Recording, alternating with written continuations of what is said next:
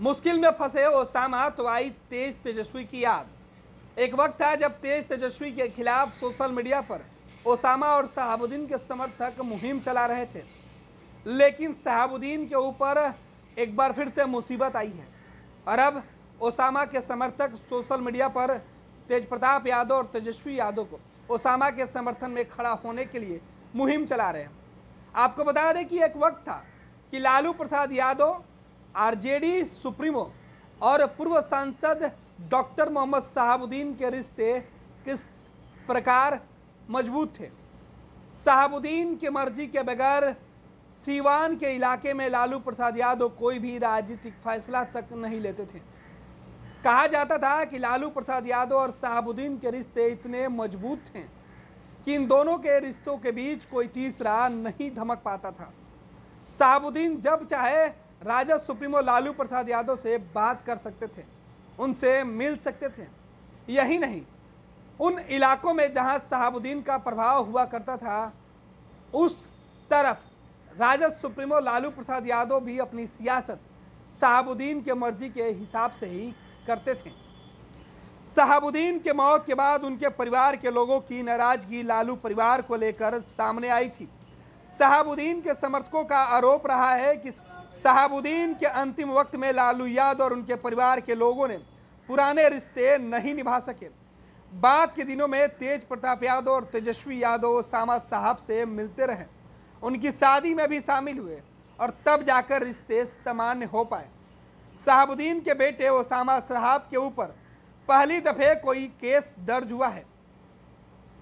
MLC उम्मीदवार rice Khan के ऊपर ए के से हमले के मामले में साहब के करीबियों के ऊपर एफआईआर दर्ज की गई है। ऐसे में ओसामा साहब के मुश्किलें बढ़ती नज़र आ रही है। इस बीच साहब और शहाबुद्दीन के समर्थकों की तेजस्वी और तेज प्रताप की याद आ रही है। सोशल मीडिया पर शहाबुद्दीन के मौत के बाद तेजस्वी और तेज प्रताप के ऊपर जमकर भड़ास निकालने वाले ओसामा के समर्थक। अब सोशल मीडिया पर तेजस्वी और तेज प्रताप के साथ ओसामा की तस्वीरें साझा कर रहे हैं। सोशल मीडिया पर भी स्टैंड विथ ओसामा हैशटैग के साथ सपोर्ट दिखाने की कोशिश की जा रही है।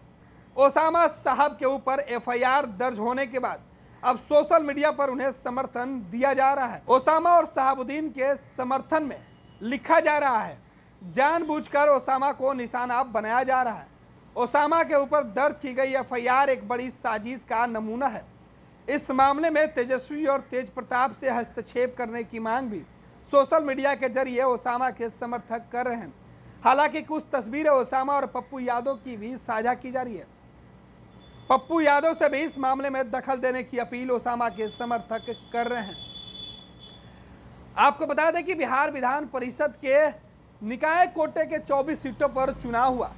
सिवान में भी एमएलसी के उम्मीदवारों के लिए जो चुनाव प्रक्रिया चल रही थी, चुनाव संपन्न होने के बाद देर रात सिवान से निर्दलीय प्रत्याशी रईस खान के काफिले पर उनके गाँव जाते वक्त पहले से घात लगाए अपराधियों ने एक के फोर्टी सेवन राइफल से अंधाधुन फायरिंग कर दी थी, जिसमें एमएलसी उम्मीदवार रईस खान के करीबियों को गोली लगी। हालाँकि इस हमले में रईस खान तो बच गए, लेकिन जब वो अस्पताल पहुँचे उनके समर्थन में जेडीयू के पूर्व विधायक श्याम बहादुर सिंह पहुँचे तो उन्होंने सीधे तौर पर चेतावनी देते हुए कहा कि एक एक से बदला लेंगे। पुलिस पहुँची, उसके बाद मामले में तफ्तीश शुरू हुई। रईस खान ने जो एफआईआर दर्ज कराई है, उसमें शहाबुद्दीन के बेटे ओसामा साहब सहित आठ लोगों के खिलाफ नेम्ड एफआईआर दर्ज कराया है। साथ ही साथ कई अन्य के खिलाफ भी मुकदमे दर्ज हुए हैं। पुलिस इस पूरे मामले की जाँच में जुटी हुई है। हालाँकि कहा जा रहा है कि इस पूरे मामले के बाद ओसामा साहब की मुश्किलें बढ़ गई है और इसी मुश्किलों को देखते हुए उनके समर्थकों ने सोशल मीडिया पर ओसामा के समर्थन में खड़ा होने के लिए तेजस्वी और तेज प्रताप से साथ आने की अपील की है।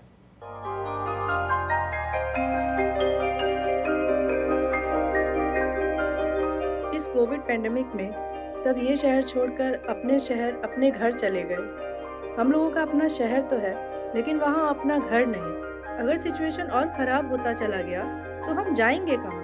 अरे ये प्रॉब्लम तो हर शहर में है। लेकिन हाँ अपने शहर में भी अपना घर तो होना ही चाहिए। होना चाहिए। तो कहाँ है अपना घर?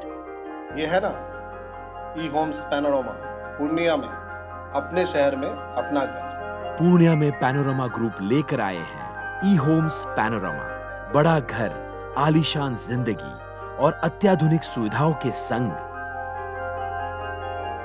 E Homes Panorama luxurious lifestyle redefined